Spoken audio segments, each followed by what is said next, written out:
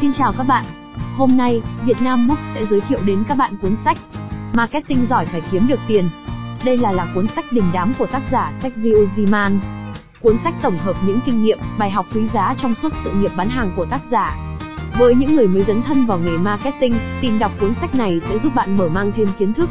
Cuốn sách được viết bởi Sergio Ziman, người từng đưa thương hiệu đồ uống Coca-Cola lên tầm cao mới.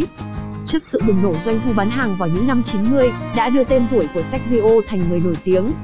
Về sau, ông trở thành CEO và founder của tập đoàn Z Marketing công ty chuyên về marketing, truyền thông. Trong suốt sự nghiệp của mình, Zeman sử dụng nhiều chiến lược marketing kết hợp cùng phương pháp kinh doanh bài bản. Từ đó, tạo ra nguồn doanh thu khổng lồ, tạo được tiếng vang trong ngành. Zeman đúc kết toàn bộ kiến thức, chiến thuật và bí quyết trong cuốn sách Marketing giỏi phải kiếm được tiền, nhằm giúp độc giả hiểu rõ hơn về nghệ thuật marketing nếu muốn bán được nhiều hàng hóa. Xuyên suốt nội dung cuốn sách Marketing giỏi phải kiếm được tiền, tác giả chỉ rõ khái niệm về marketing, đồng thời giúp người đọc nắm được cách làm thế nào để marketing thành công, bán được hàng hóa và tạo ra doanh thu lớn. Marketing là một khoản đầu tư. Các chủ doanh nghiệp hay người mới bắt đầu dấn thân vào môi trường bán hàng cần phải hiểu rằng marketing chính là khoản đầu tư. Chúng giúp doanh nghiệp tạo dựng thương hiệu và đưa sản phẩm tiếp cận lượng lớn khách hàng, từ đó, thúc đẩy số lượng hàng hóa, thu được doanh số đáng kể. Hiện nay, rất nhiều nhà lãnh đạo gặp phải sai sót trầm trọng, họ coi nhẹ marketing mà bỏ qua giai đoạn này. Họ coi marketing chỉ là một khoản chi phí nên tìm cách để cắt giảm ngân sách, hạn chế đầu tư. Cuốn sách giúp bạn hiểu rõ khách hàng mục tiêu trong marketing.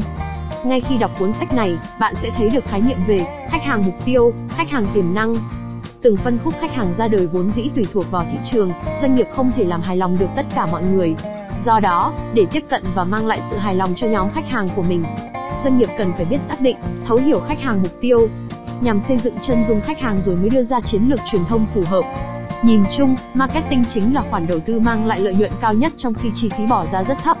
Một doanh nghiệp thực sự hiểu rõ điều này sẽ chinh phục được mọi đối tượng khách hàng.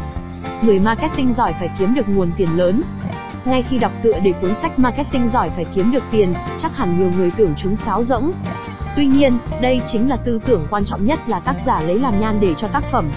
Mỗi doanh nghiệp cần phải coi marketing là khoản đầu tư. Khi đầu tư tất nhiên phải sinh ra lợi nhuận tương ứng. Khoản đầu tư đó có thể là tức thời hoặc dài hạn, điều này có nghĩa là bạn phải dành thời gian để xây dựng thương hiệu rồi mới tiếp cận nguồn khách hàng.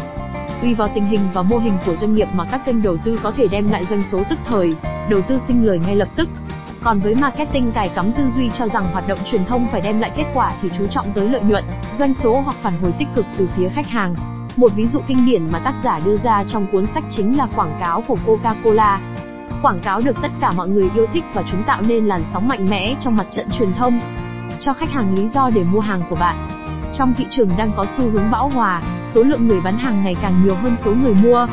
Bạn cần phải biết làm thế nào để thương hiệu của mình có chỗ đứng trong tâm trí của khách hàng. Nếu sản phẩm của bạn không khác biệt thì nên chọn thị trường mới mẻ, chưa từng có ai khai thác. Sẵn sàng ứng phó khi biến cố xảy ra. Một điều quan trọng mà người làm marketing cần phải nhớ, chính là tâm thế sẵn sàng ứng phó với những biến cố có thể xảy ra bất cứ lúc nào.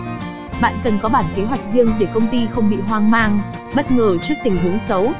Thương trường chính là chiến trường, khi mình có đủ chiến thuật thì trăm trận trăm thắng.